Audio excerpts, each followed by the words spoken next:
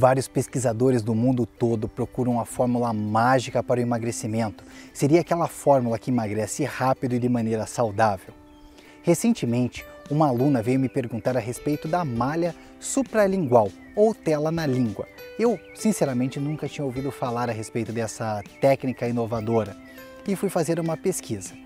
Meu nome é Aurélio Fieri, sou personal trainer e coach de emagrecimento e nesse vídeo eu vou falar das vantagens e desvantagens de utilizar essa técnica da malha supralingual. Eu descobri que essa técnica já é utilizada há 16 anos e foi desenvolvida por um médico mexicano.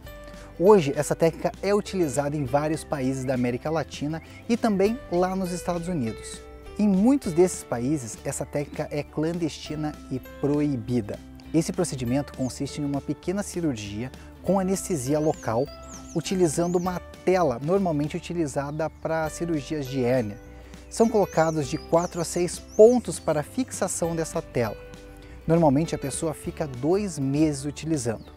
Nos Estados Unidos, esse procedimento custa aproximadamente 1.500 dólares. Os médicos prometem resultado rápido de emagrecimento, pois as pessoas não conseguem mais ingerir sólidos, apenas líquidos.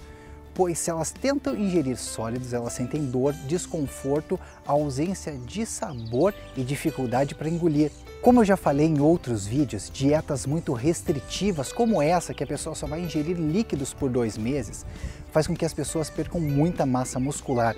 Como consequência, baixam radicalmente o seu metabolismo basal, fazendo com que logo após o tratamento ela engorde rapidamente, fazendo aquilo que a gente chama de efeito sanfona. Vamos falar dos riscos. O principal deles é o risco de infecção pois além de fazer um procedimento na língua, abrindo uma porta para entrada de bactérias, a pessoa está debilitada e fraca, pois a dieta é muito rigorosa. Existem também problemas com a voz, dificuldade de sentir o sabor dos alimentos e também dificuldade para dormir.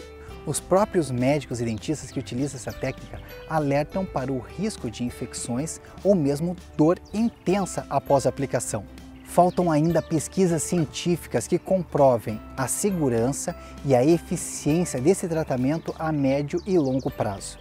Na minha opinião, essa técnica é condenável, pois além de não garantir resultados a longo prazo, oferecem sérios riscos à saúde parece até com aquelas técnicas medievais de tortura. Encaminhe esse vídeo para alertar todos os seus amigos sobre o risco eminente desse procedimento. Assine o canal, pois semanalmente eu posto vídeos relacionados a emagrecimento e condicionamento físico. Um abraço, até mais, tchau, tchau!